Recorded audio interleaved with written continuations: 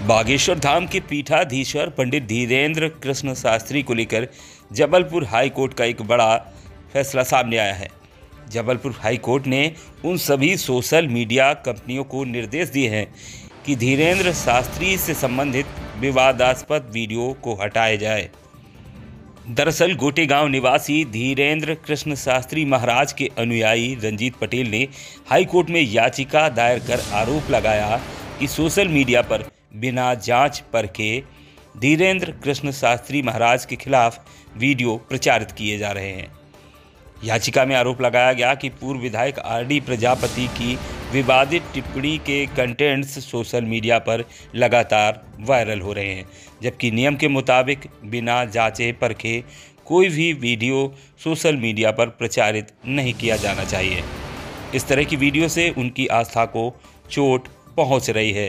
क्योंकि शास्त्रों के मुताबिक गुरु को ईश्वर का दर्जा दिया गया है और उनके गुरु के खिलाफ सोशल मीडिया पर गलत कंटेंट चलाए जा रहे हैं। माननीय हाई कोर्ट ने याचिका में उठाए मुद्दों को गंभीरता से लेते हुए तमाम सोशल मीडिया प्लेटफॉर्म, जिसमें यूट्यूब, फेसबुक, ट्विटर आदि मीडिया प्लेटफॉर्म को विवादित वीडियो हटाने का निर्देश दिया है। और नोटिस जारी कर जवाब मांगा है।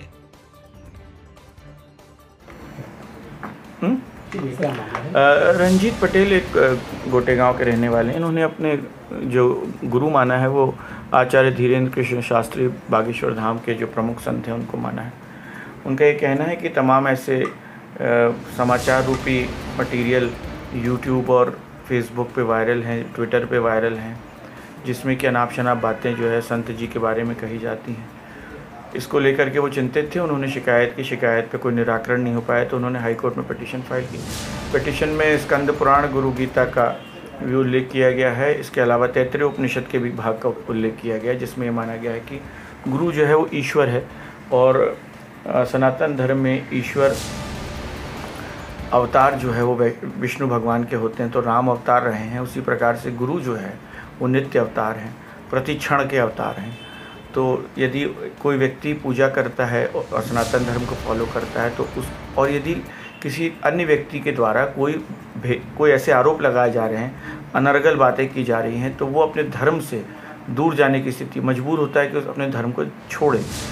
संविधान में अनुच्छेद पच्चीस में कहा गया है कि व्यक्ति जिस धर्म को चाहे, उस धर्म को फॉलो करे। और कोई उससे मजबूर नहीं कर सकता, दबाव नहीं दे सकता है कि वो अपने धर्म से दूर जाए। ऐसी स्थिति में माननीय उच्च न्यायालय ने आज कल आ, उस मुकदमे पर सुनवाई करते हुए नोटिस जारी की है और नोटिस जारी करने के साथ साथ साथ साथ यूट्यूब ट्विटर फेसबुक और जो पाँच अलग इलेक्ट्रॉनिक प्लेटफॉर्म हैं उन डिजिटल प्लेटफॉर्म है उनको मना किया है कि वे आ, संत श्री बागेश्वर धाम के विषय में इस प्रकार के कोई भी अनर्गल मटेरियल को हटाएँ इसकी जाँच करें। जाँच करने के बाद ही लगाएँ। कोई समय सीमा भी इसके लिए मिल रहा है दो सप्ताह के लिए।